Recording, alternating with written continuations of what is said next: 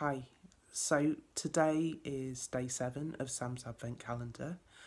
Um, it's not the one I planned to do, um, and you are going to have to excuse the slightly husky voice um, and the suitcases under my eyes, but I am feeling better after the uh, fluey bug that I've had over the last few days.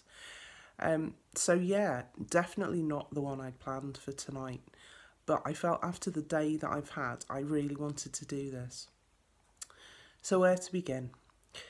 So it's so incredibly hard as a bereaved mum.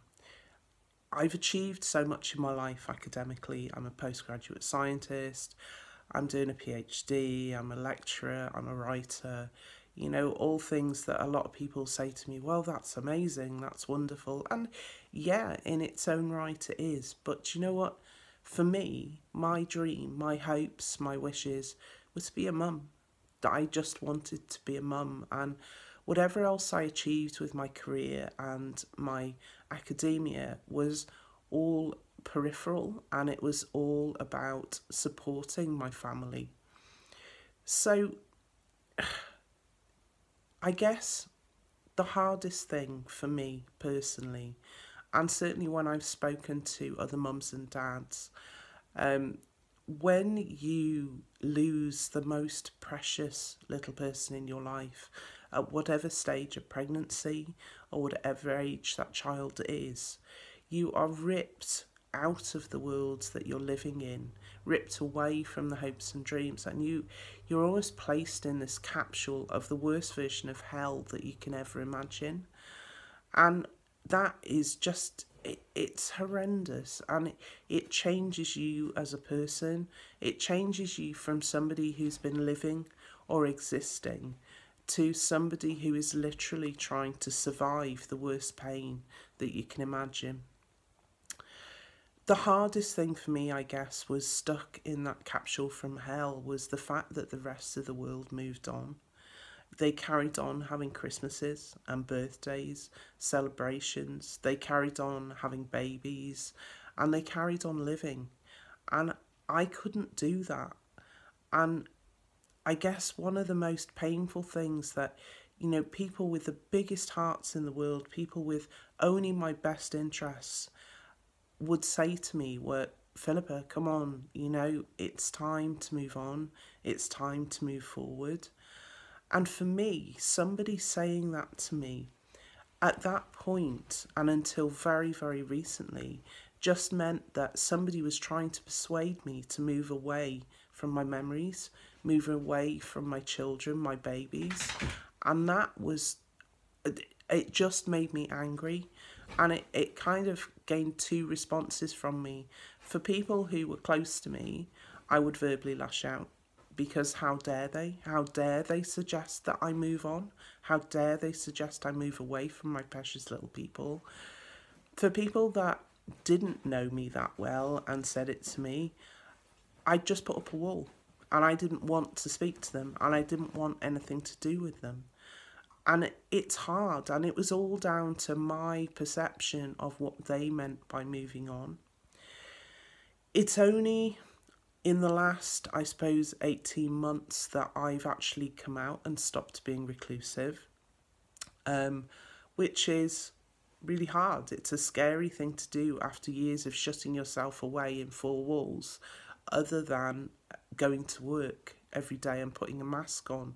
Other than that, I just shut myself away because, in the words of the Goo Goo Dolls, you know, you don't want the world to see you because you don't think that they're going to understand. And you know, that's how it felt for me was that, you know, I didn't feel people would understand. They kept saying things to me like, you've got to move on. And, you know, that, that was just the wrong thing for me to say. And so when I started kind of stepping back out into the human race, when I went back into theatre 18 months ago, I kept hold of that capsule. I kept hold of my memories with every last bit of strength I had um, because, okay, I was going to step out there, but I was not letting go of my babies or my memories or the things that were precious to me, and nobody was going to persuade me otherwise. It's only in recent weeks and months that I have I suppose, got to know new people and people who have helped me almost redefine moving on. So, moving on has now changed to actually moving forward with my memories. It's not moving on and walking away, it's moving on with my memories and what can I achieve. And this all started with a list that I wrote last Christmas as a result of a friend that I met through the theatre um, who suggested to me that I wrote a list of things that I wanted to achieve in my life. And at first that was hard because when I had that piece of paper, all I wrote on there was, I just want to be a mum. That's it. I just want to be a mum. And I was quite definite about that. But then I kept trying and I put my trust in him and I kept trying. And eventually I came up with a list. And astonishingly, I've managed to achieve so much of that in the last 12 months. But as I say, in the last several weeks, couple of months, I've achieved so much more. And in my head, I've managed to re educate myself to the fact that moving on isn't about moving away from my children, it's about trying to find a life that I can accept, a better life than shutting myself away in four walls. So, what is it that's happened today? Well, obviously, as some of you will be aware, um, in recent weeks, um, I've had a huge amount of support from a certain footballer called Neville Southall, uh, the wonderful Neville Southall, who has come out to, to really support me, my play, and what I'm trying to achieve, raising awareness with baby loss. And obviously, he is a footballer and he played for Everton. Um, and as somebody who knows nothing about football, and that's not for any reason other than the fact that I didn't grow up with football supporters around me. I didn't know anything about football. I've never had any exposure to it.